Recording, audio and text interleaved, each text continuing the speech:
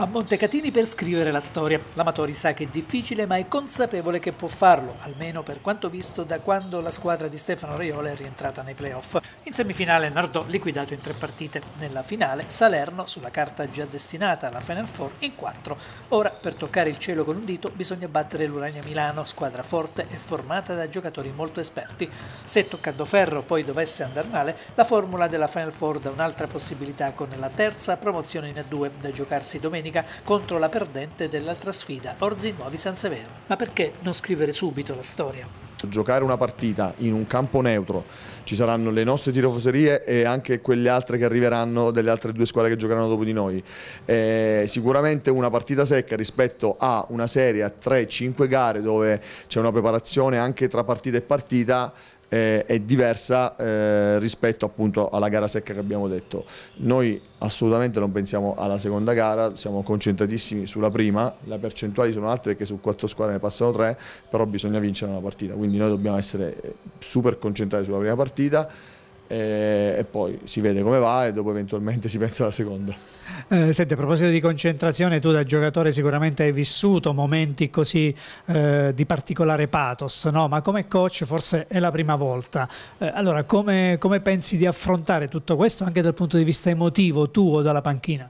Allora, io cerco di trasmettere abbastanza, non tranquillità, perché non si può arrivare tranquilli a giocare queste partite, però di sicuro non tensione, perché affrontare queste partite con troppa tensione, sentirle troppo, poi ci può portare a non essere fluidi, a non essere lucidi durante la partita. E queste partite diciamo, possono una gara 4 come quella che abbiamo giocato in casa, le gare di spareggio che si giocano quando magari uno fa una serie a 5 partite e ti devi giocare la quinta in cui ci si gioca tutto per entrambe le squadre al di là di dove si gioca in caso fuori, eh, sono partite in cui bisogna stare veramente concentrati tantissimo come sempre, ma ancora di più, dove si deve sbagliare il meno possibile e, e cercare di fare la migliore partita possibile. Avrai visto sicuramente dei video eh, della squadra avversaria dell'Urania, eh, insomma stai preparando qualche trappola, qualcosa? Allora guarda, eh, sicuramente sulla falsariga di quello che abbiamo fatto con Salerno, secondo me siamo già sulla buona strada da, dalle partite di Nardò alle partite di Salerno. Innanzitutto il concetto di squadra, cioè giocare insieme giocatori che quando entrano sanno quello che serve in quel momento alla squadra, lo abbiamo dimostrato in questa serie con Salerno che chiunque entrava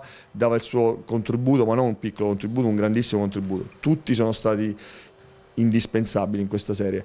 Dal punto di vista del gioco non penso che cambieremo tantissimo, è logico che ogni squadra ha le proprie caratteristiche, stiamo cercando di leggere al meglio le caratteristiche di Milano e provare a togliere poi quelli che, saranno, che sono e che saranno sabato i, i loro punti di forza eh, però lo stiamo facendo adesso, poi non è che posso dire troppo.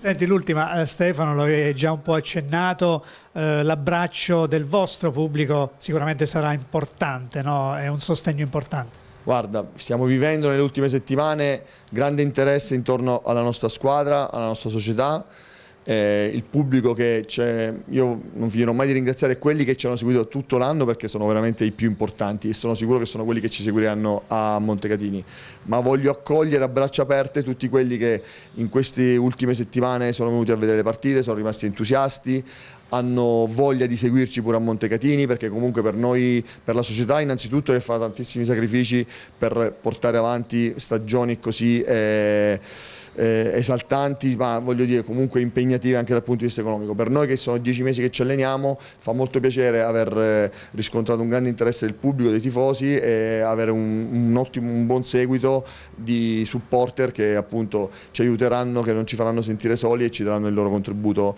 anche nella partita di sabato.